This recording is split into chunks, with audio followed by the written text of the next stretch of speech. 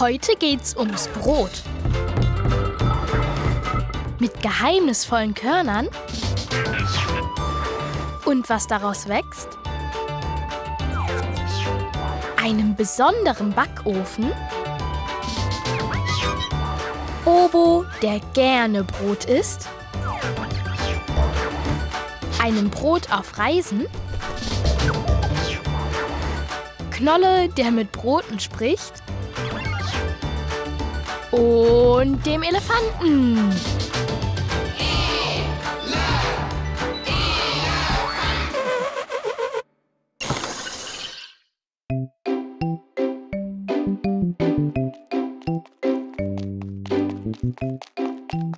Ah, fertig. Mm, das duftet köstlich. Oh!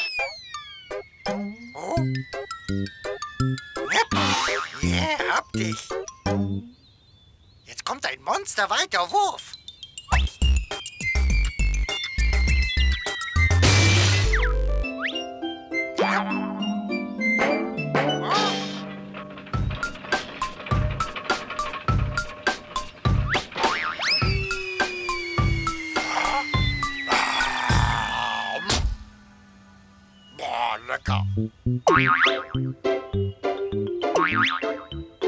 Hä? Was war denn das?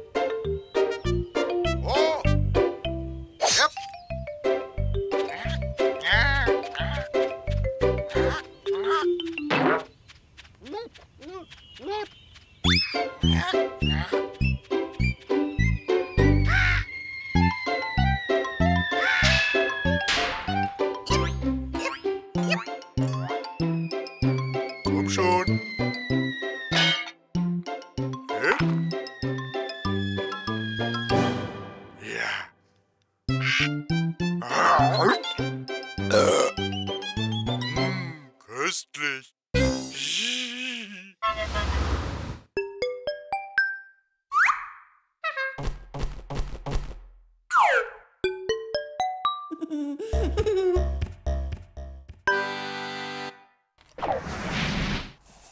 Mit solchen Körnern fängt es an.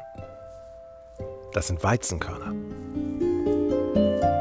Und das ist Katharina. Die zeigt euch, was man mit einem einzigen Weizenkorn machen kann.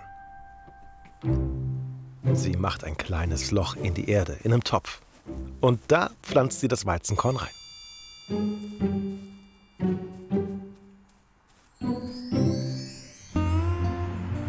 Der Bauer macht das mit einer Maschine.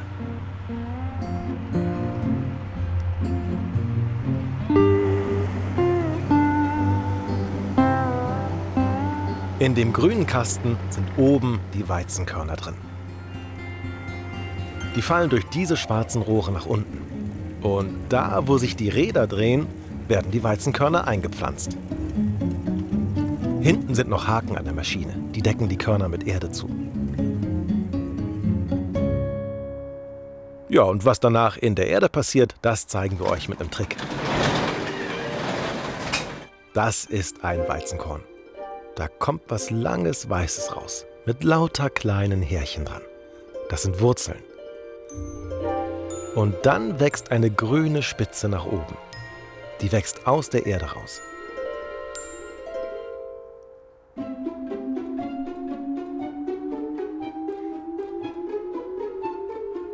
In Wirklichkeit dauert das viel, viel länger. Wir haben den Film schneller laufen lassen, denn sonst ist es ja ein bisschen langweilig.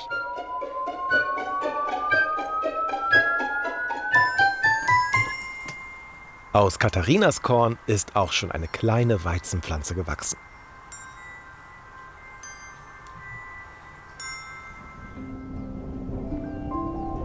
Auf dem Feld draußen sind auch jede Menge davon gewachsen.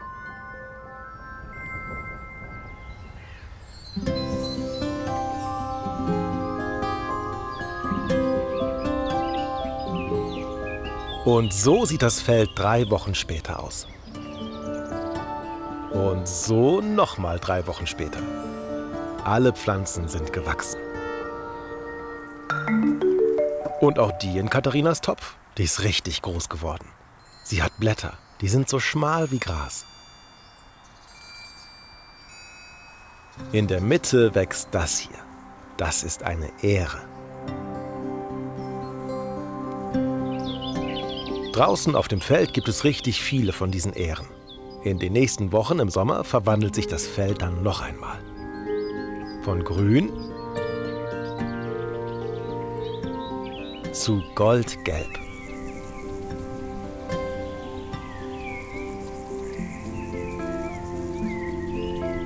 Die Ähren oben auf den Halmen sind alle größer und dicker geworden. Bei Katharina im Topf hat sich die Farbe auch verändert. Und es sind vier schöne Ähren gewachsen. Katharina fühlt mal mit den Fingern. Das fühlt sich hart an da drin. Und was da Hartes in der Ähre drin ist, das zeigt euch Katharina gleich.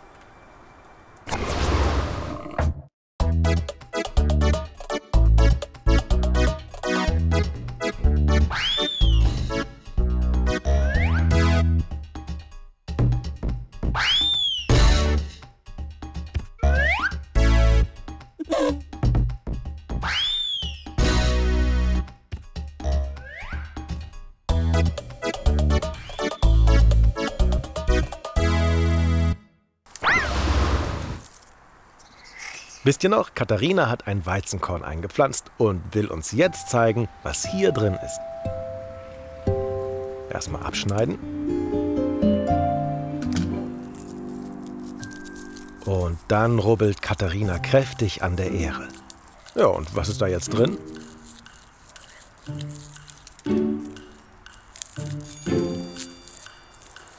Das sieht aus wie neue Weizenkörner. Und ganz schön viele. Bisschen pusten. So kann man sie noch besser erkennen, die Weizenkörner. Ja, und wie erntet der Bauer seinen Weizen? Er hat natürlich eine Maschine. Denn er hat viel mehr Weizenkörner zu ernten als Katharina. Vorne an der Maschine ist so eine Walze da. Die dreht sich. Werden die Ähren abgezupft.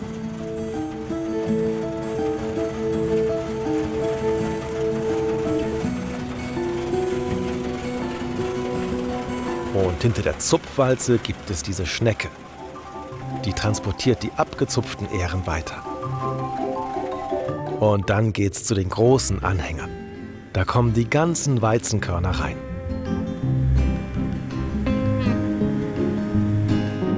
Tja, und was kann man aus den Weizenkörnern machen? Das zeigt euch jetzt mal Katharina.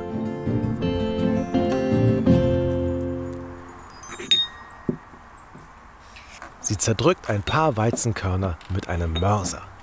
Na, da muss man sich ganz schön anstrengen.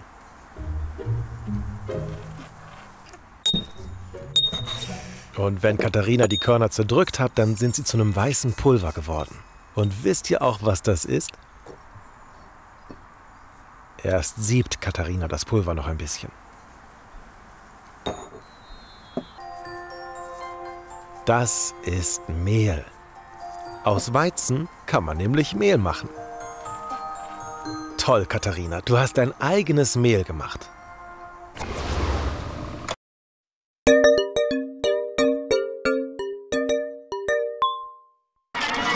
Brote, seid ihr klar? Ja.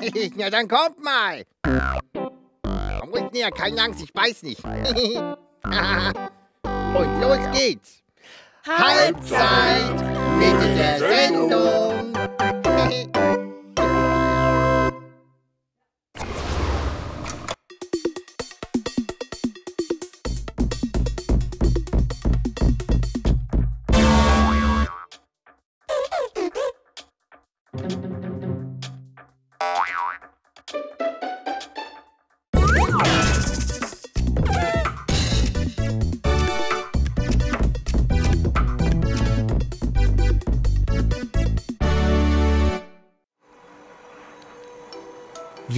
Gemacht wird, wissen wir ja jetzt. In diesem großen LKW ist ganz viel Mehl. Unten wird ein dicker Schlauch angeschlossen. Durch den läuft das ganze Mehl direkt in die Großbäckerei. Hier sind ganz viele Rohre. Und das mit dem Mehl endet hier in dieser Maschine. Wenn man da hineinschaut, kann man sehen, wie das Mehl in den großen Behälter fällt. Aber nicht nur das Mehl, dazu kommt noch was, nämlich eine Hefemischung und Wasser. Und davon ganz viel.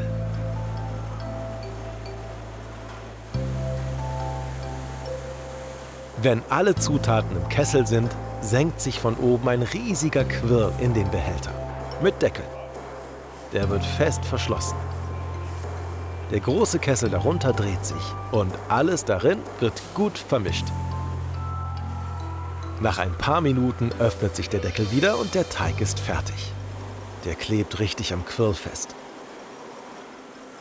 Der riesige Kessel wird gekippt und der Teig landet in diesem Trichter. Unten aus dem Trichter fallen jetzt viele kleine Teigportionen raus. Die werden Teiglinge genannt und die landen auf dem Fließband. Die kleinen Teiglinge werden rund geformt und biegen am Ende des Fließbands um die Ecke.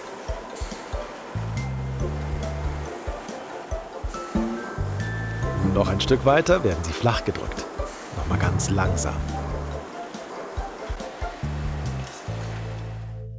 Die runden Teigkugeln werden länglich geformt.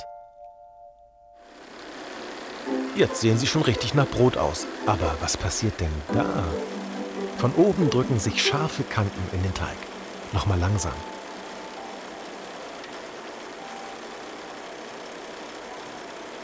Vorher, nachher. Durch diese Schnitte bekommt das Brot später eine schöne Kruste. Und weiter geht's über das Fließband in diese große Maschine. Jeder Teigling landet in einem eigenen Korb. Hier ist es schön warm und dadurch wird der Teig noch mal größer. Am Ende werden die Körbe mit den Teiglingen ausgekippt. Die sind jetzt fast doppelt so groß. Und von hier aus geht's endlich in den riesigen Ofen. An der Seite kann man eine Klappe öffnen und in den Ofen hineinsehen. Da fahren die Brote vorbei. Am Ende kommen sie fertig raus. Leckeres Krustenbrot.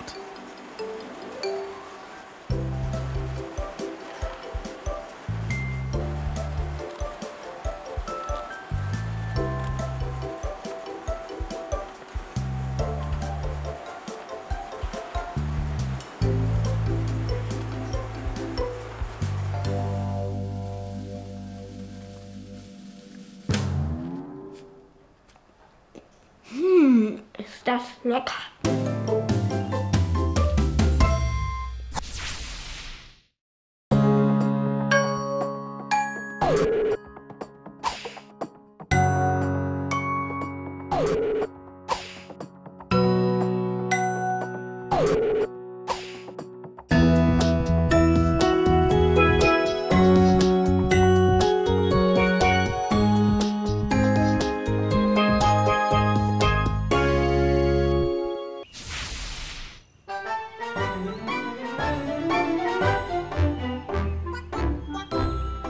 Heute bereitet Bobo ganz alleine das Frühstück vor.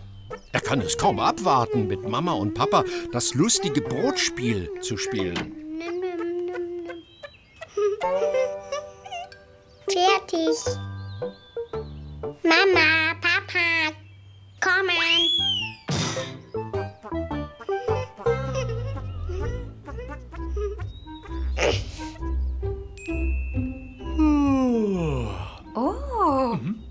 Ja schon den Frühstückstisch gedeckt. Lecker. Brotspiel spielen. Na gut, Okay. Schubidu, Schubidu, welches Brot machst du? hier, das Brot. Danke. Wurst. Ich brauche Käse. Beim Brotspiel legen alle lustige Bilder auf ihre Brote. Ich bin gespannt, was du dir heute ausdenkst, Bobo. Bobo möchte nichts verraten. Und du?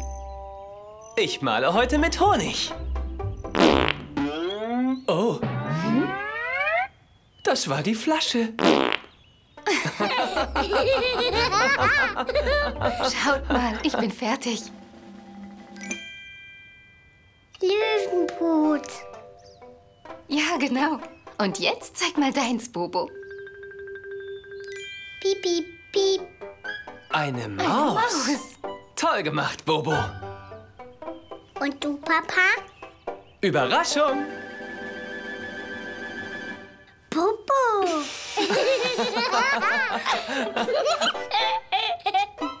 Und jetzt frühstücken. Kann ich bitte die Milch haben? Gerne.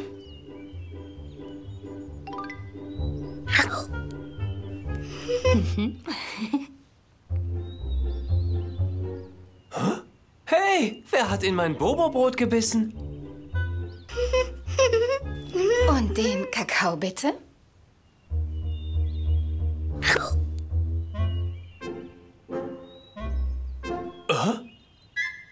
Das Brot wird irgendwie immer kleiner. Komisch. Kannst du mir noch einen Löffel geben? Hab ich mir doch gedacht, dass jemand an meinem Brot nascht.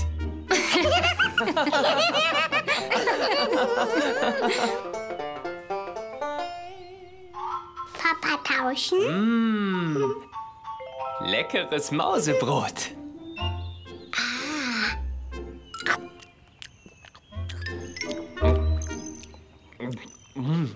Aufgegessen. Noch mehr. Weintrauben. Bitte schön. Danke. äh, oh, ups. Oh, gar nicht so einfach mit der Gabel. Ui! Lecker. Traubensaft.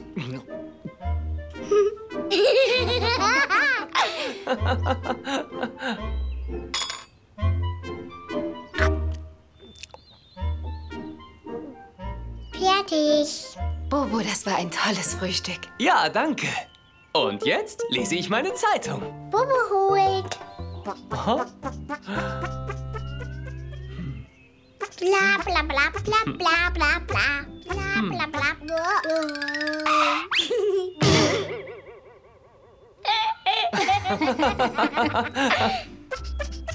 Bobo auch lesen. Na gut. Bla bla bla bla bla bla bla bla bla. Fertig. Neue Seite. Okay.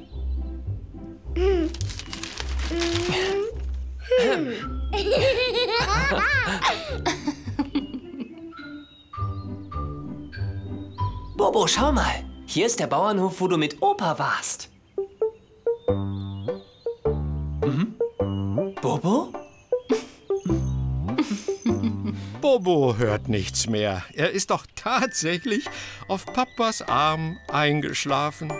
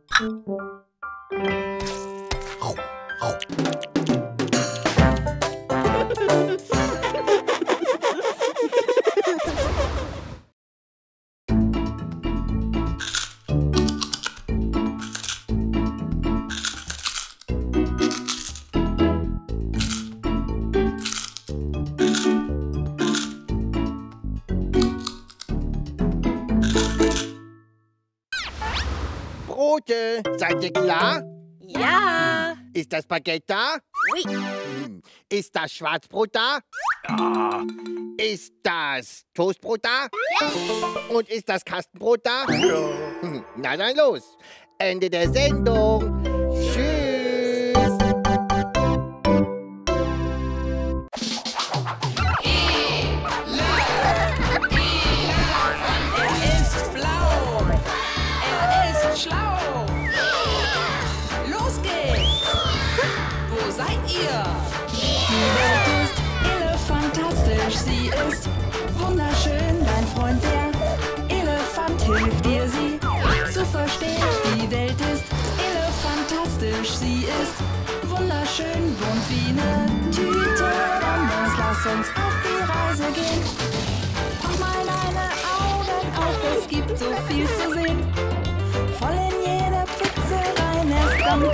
Kann's weitergehen.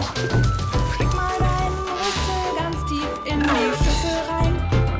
Und jetzt kräftig umrühren, das muss Quatsch mit Soße sein. Die Welt ist elefantastisch, sie ist wunderschön. Dein Freund der Elefant hilft dir, sie zu verstehen. Die Welt ist elefantastisch, sie ist wunderschön. Bunt wie eine Tüte Bonbons, lass uns auf die Reise gehen. Die Welt ist elefantastisch, sie ist wunderschön. Und wenn du